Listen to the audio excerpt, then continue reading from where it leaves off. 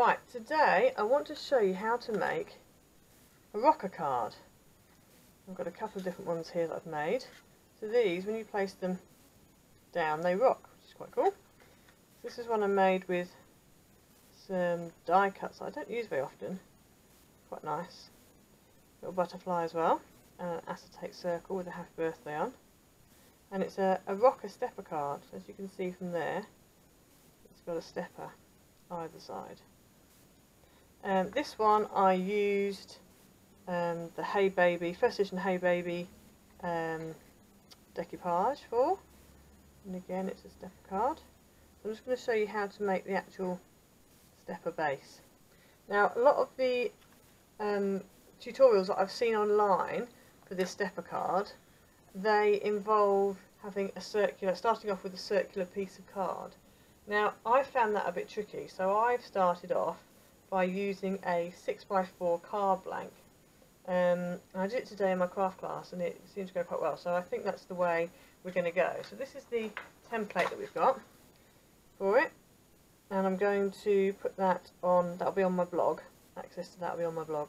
Um, so I've made the template up and showed you. So this is the, obviously the, the card blank itself and then this is what you will cut but you need to do your score lines first and then you cut the circle out. And that way it's very easy then to measure in because otherwise if you see that slopes round and so to measure an inch and a half in is a bit tricky. So I just find it easy to do it on a 6x4 and then cut this bit here off afterwards. So we're going to start with apologies if the light keeps going in and out it's a horrible day today. One minute it's sunny the next minute it's absolutely throwing it down with rain so we're going to start with a 6x4 card blank like that. And what we're going to do, obviously as you know, you've got your central fold line there. So what you want to do is on your, um, you want to first get a, get a ruler and a pencil. And you want to mark along your central score line. You want to mark at one and a half inches which is there. And one and a half inches in from here which is there. Okay so that's one and a half inches in there and one and a half inches in there. You also want to do the same at the top of your card. Do exactly the same again. One and a half in, just a little dot, and one and a half in. You'll need that later on. Right, so when you've done that, what you want to do next is take a scoreboard. Let's open one up. And I'm using this one, which is a We Are Memory Keepers scoreboard and you want to take your card and you're going to score along here. So you turn it round. Now what I did, because if I butt this up against the, the scoring edge, because it's this one isn't quite 6x4, this, this card, um, so you want to measure, bring your central line up to one of the numbers, that's there, okay, so that's my central score lines there, and then you want to measure three quarters of an inch along.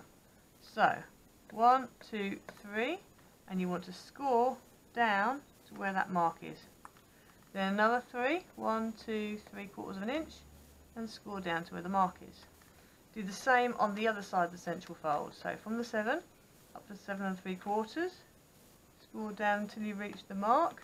Then another three quarters of an inch, one, two, three, so eight and a half. Score down again to the other bit, like that. So you end up with those um, four score lines. Two score lines you've already done, sorry, five score lines. The central one and then the two that you've just done. Next what you want to do is flip your card around and do the same again. So you want to go that centre bit where the 7 is, or whatever number you choose, and then one, two, three. So we're going to go there and stop there. Oh, sun's coming out. One, two, three, six and a half. Oh, it's going in again. There we go. From the 7 you want to go the other way, so one, two, three, seven and 3 quarters, and then another 3. 1, 2, 3, so 8 and a half. Okay, so that's your scores done. So I just find it easier to score it on a nice rectangular piece of card. Because if you start doing it on a circular piece of card, it's just a nightmare. Then what you want to do is go to your trimmer. Now obviously you can use a Stanley knife for this if you want to. And this is where your two little marks that you did earlier come in handy. So you want to open up your trimmer, you want to put your piece of card in, butt it up against that edge and make sure that that mark you made is in the cutting track. Then close your ruler down and bring your trimmer so that it is in line with that first score line and you want to cut all the way down until you reach the last score line. So you end up with that. So cut all the way from the first score line all the way down to the last score line. Turn it round and you want to do the same again. So measure up your dotted line, eh, not, not dotted line, your little dot that you've got your mark with the cutting track. Close your ruler up and then cut from one the first score line to the last score line. Like that. Okay? You can put your trimmer away. Next what we want to do is want to fold your whole card in half. Like that. Now, this is going to look very untechnical. You can use a 6 inch circular die if you want to. But for those of you who don't have a die cutting machine, I am using a cereal bowl, a nice plastic cereal bowl. And it does measure approximately, well, it's five and a half inches this is. Yeah, five and a half, just over, mm, five and, just over five and a half inches. Yeah, but um, you can use, but my card, as I said, it isn't 6x4. If your card was 6x4, you'd use a 6 inch circle, okay? So whatever you can do, whatever's the kind of right size of your card, that's what you need to use. So this one, if you see, if I get that halfway, it's only slightly smaller than my card, which is perfect. So then what you want to do is put your fingers on top of the bowl, and with a pencil, you draw around, like that. And then you just want to cut that out. So obviously with a die it would be a lot easier. But, you know, I just quite like the idea of using a cereal bowl. It's nice and handy. And it's easier to transport than a, if you were doing this out and about somewhere. Now you need a nice sharp pair of scissors, which these aren't.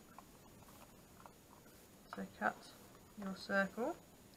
Don't worry if your circle's not completely perfect. I'm not the best at cutting out. As long as you more or less follow that line, you should be okay.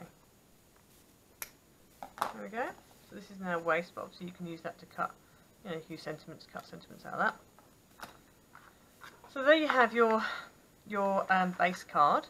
Next what you want to do is, starting from the first fold line, the first fold needs to be a mountain fold, so it looks like a mountain.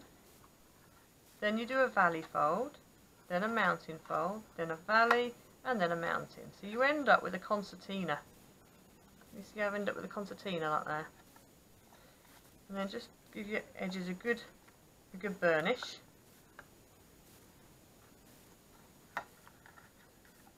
Like that. And then do the same on the other side. So you want to do a mountain, a valley, a mountain, a valley, and a mountain.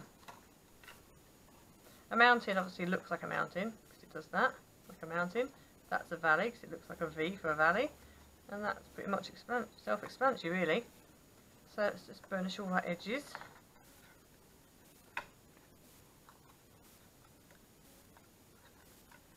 there we go right and so that is your rocker card done now obviously these two bits this, this bothers me a bit this bit here bothers me this is also not quite as deep as this one but I think it's just because of where I put my bowl so with this one I had my bowl so that it was I had my bowl so that it wasn't really half, it was just slightly further down, which then gives you more, a, a, bigger depth on your on your rocker. So obviously it's up to you where you want to put it. So this is just shallower rocker really than, than the other two that I've done.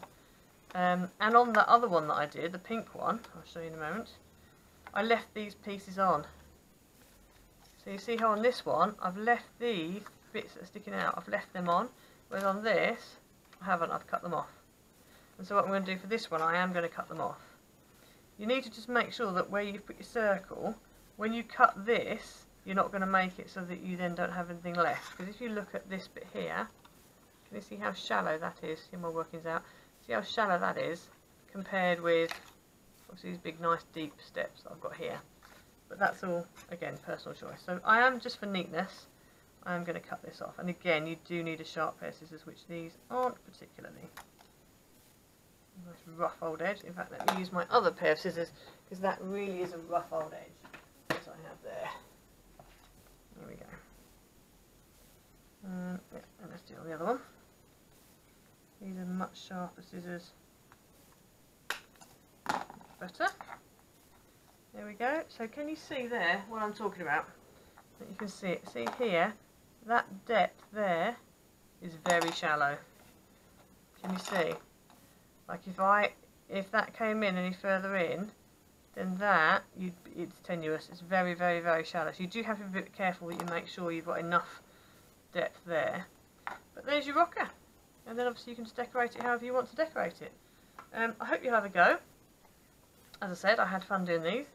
Um, and there's so many different things you can do with them, different things. I mean, they'd be great for like another a baby card. I've got um, or Easter card, or anything really. Birthday get well. You could do it with a pirate ship, make it look like um, a pirate ship. We could do it as a Noah's Ark. There's so many different ideas you can use with it, and it's just a nice, and it's really not that difficult. So I hope you give it a go.